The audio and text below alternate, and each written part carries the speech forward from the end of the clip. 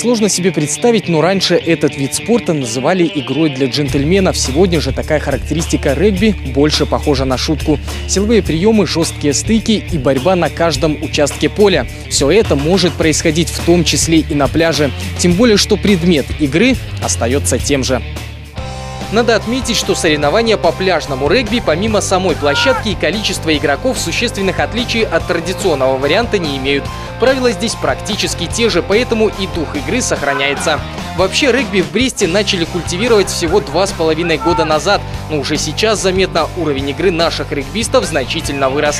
Организаторы первого пляжного турнира признаются, такого количества желающих попрактиковаться в самой мужской из спортивных забав не ожидали. На дебютный Брестский регбийный форум пожаловали и гости из Минска – команда «Гномы».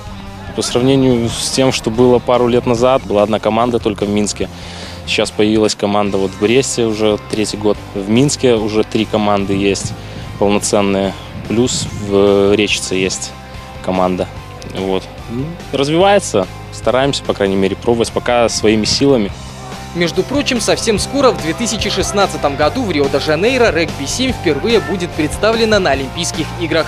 Так что перспективы у этого вида спорта огромные. И все же вернемся к пляжной версии. Этот вариант игры появился всего 15 лет назад.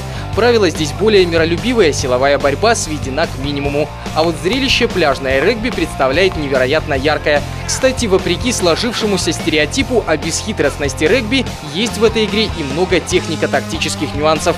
Для успеха в этом деле нужно уметь практически все. Прежде всего нужно бегать. Нужно ловить мяч, отдавать пас, выходить на пас, именно понимать вообще всю игру, захватывать противника, не пропускать мимо себя. Вот там такие составляющие. Можно ну, ногами в регби играть. Вот. Так что много составляющих компонентов. Брестский турнир собрал 8 команд. Кстати, тут можно было не только выступить своей сыгранной дружиной, но и найти себе партнеров на месте.